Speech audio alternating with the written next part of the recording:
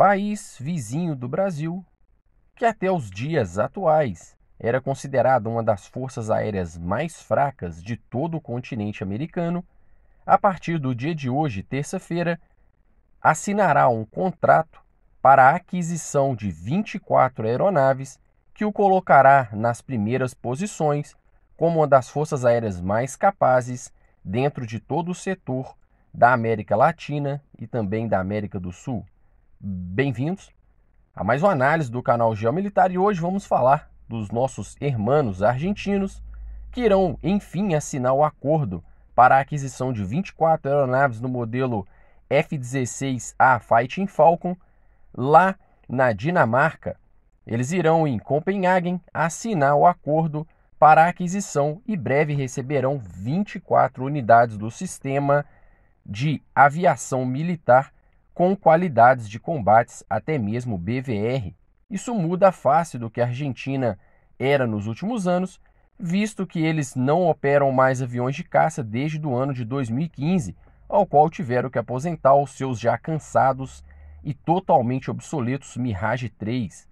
Hoje a Argentina está prestes então a assinar um acordo de milhões de dólares via FMS, que foi totalmente apadrinhado pelos Estados Unidos, ao qual eles irão adquirir os caças que são utilizados lá no continente europeu, dentro da aliança OTAN. A Argentina, então, pulará várias posições, saindo lá do final da lista e chegando perto do topo, chegando perto de forças aéreas mais modernas e capazes, como a Força Aérea Chilena, a Força Aérea Venezuelana e até mesmo a Força Aérea Brasileira, que até então mantém as aeronaves mais modernas em funcionamento, com o caça F-39 Gripen, apesar de ainda ter recebido poucas unidades. Obviamente, sabemos que o Brasil realizou a compra de 40 unidades do Gripen e logo chegarão e também estão sendo fabricados na fábrica de São Paulo, em Gavião Peixoto, a fábrica da Embraer, junto com a fabricante Saab da Suécia.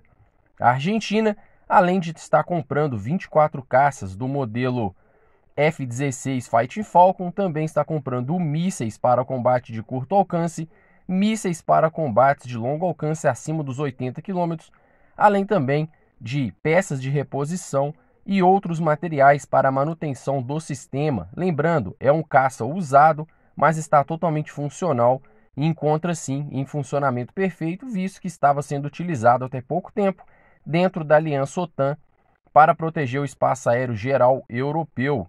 Então, esse tipo de sistema ainda está muito capaz e durará por alguns anos na Força Aérea Argentina até que eles ou resolvam comprar outros caças ou mesmo modernizar esses F-16 para padrões ainda mais modernos, como o do Bloco 50 ou até o Bloco 70, como alguns países já fazem dentro da utilização do F-16. O F-16 é um caça com grande facilidade dentro do mercado, possui muitas peças de reposição, muitas versões, muitos países utilizadores e muito intercâmbio de informação entre os países. É uma das aeronaves mais capazes de todo o mundo e foi criada para resistir ao tempo. Caça F-16 tem mais de 50 anos que foi fabricado e ainda hoje sai caças novinhos das linhas de produção.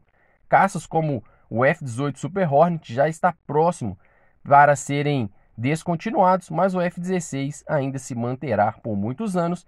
E se depender da Força Aérea dos Estados Unidos com a utilização e também dos seus parceiros, o F-16 ainda terá muitas versões mais modernas e cada vez mais eficazes, incluindo o programa da USAF, a Força Aérea Americana, está transformando os seus F-16 em F-16 totalmente pilotados por IA, ou seja, aeronaves de última geração que são supersônicas e que são 100% funcionais, sem nenhum piloto. Outra evolução do F-16. Então é um caça sim muito capaz. A Argentina fez uma ótima compra. Os caças F-16 vão representar uma melhoria gigantesca na sua força aérea. E sim, a Argentina tende a melhorar cada vez mais, visto que eles aproximaram do programa FMS e através desse programa é facilitado a compra de armamentos não só para forças aéreas, mas para a marinha e também para o exército.